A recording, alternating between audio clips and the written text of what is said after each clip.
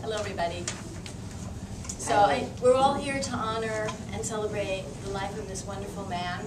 And I don't want to be redundant because just about everything I wanted to say, Robbie, you covered, and uh, Pam, you covered. So there's really nothing left for me to say. So I'm just going to share a couple of thoughts. Um, I met Rynn on a bus trip to Farm Sanctuary. And like others have said, it seems like I knew him before. Like he's always been in my life, and I've been a vegetarian now for 25 years and vegan for 18. And he's been such an integral part of the reason why I'm vegetarian. And the one thing I noticed about Rynn is that he always had that special quality of really listening and responding to people and to questions from the audience. Although he was extremely intelligent and very introspective, he was never elitist or arrogant or condescending. And he really gave a great deal of thought to questions raised by people that were not aware of the issues, and I always really respected that. Um, he was very soft-spoken and was a wonderful advocate for the animals, as well as a great role model for all of us in the vegetarian community.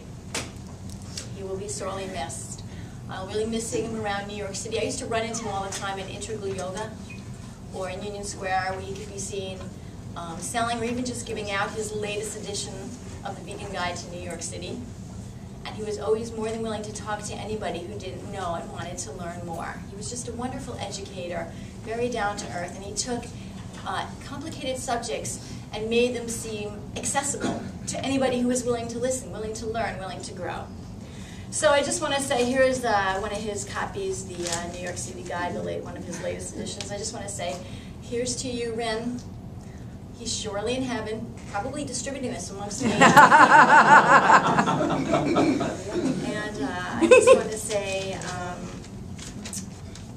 may you rest in peace, and rest assured that your spirit is still alive with us, and that your inspiring, important words and words and uh, works will never be forgotten.